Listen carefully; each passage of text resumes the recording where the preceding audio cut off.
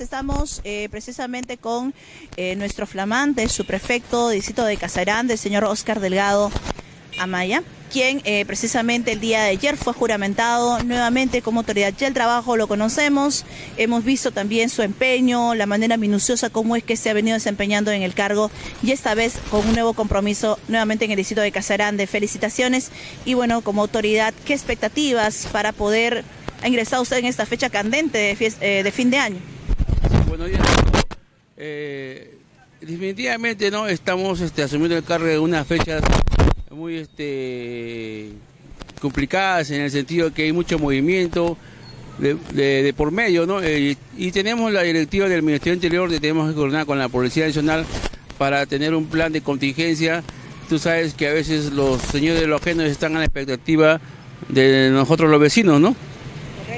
Dentro de ello ya usted eh, ha podido iniciar ya algunas reuniones con antelación para poder especificar este plan de, contingencia, este plan estratégico frente precisamente a lo que se viene, pues se viene el tema de, la de las fiestas de fin de año, ahí nada más pegadas las fiestas de nuestro aniversario que también suelen ser bastante movidas.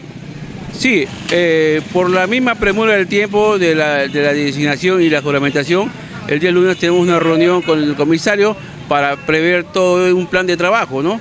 Eh, y ya estaremos dando a saber qué es lo que tenemos que previsto para la seguridad ciudadana y la tranquilidad de nuestros vecinos celebren sus fiestas navideñas y de año nuevo.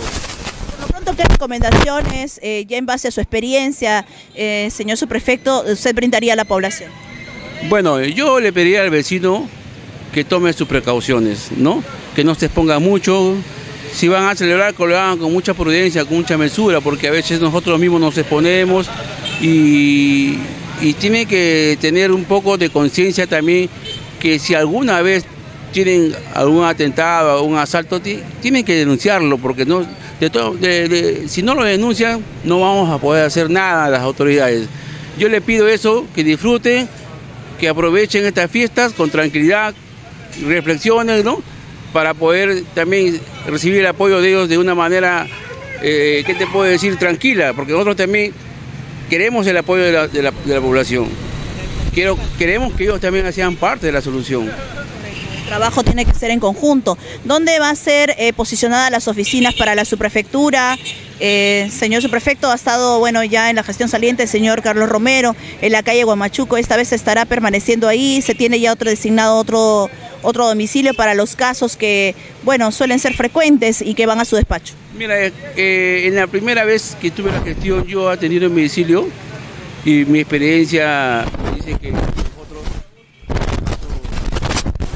como la subprefectura, eh, tenemos horarios un poco, eh, ¿qué te puedo decir? Que limita las necesidades o, los, temas que el vecino tenga que ser atendido. Eh, yo atendía, me tocaba en la puerta, y hasta donde podía lo recibía y les apoyaba en, sus problemas que ellos tenían, ¿no?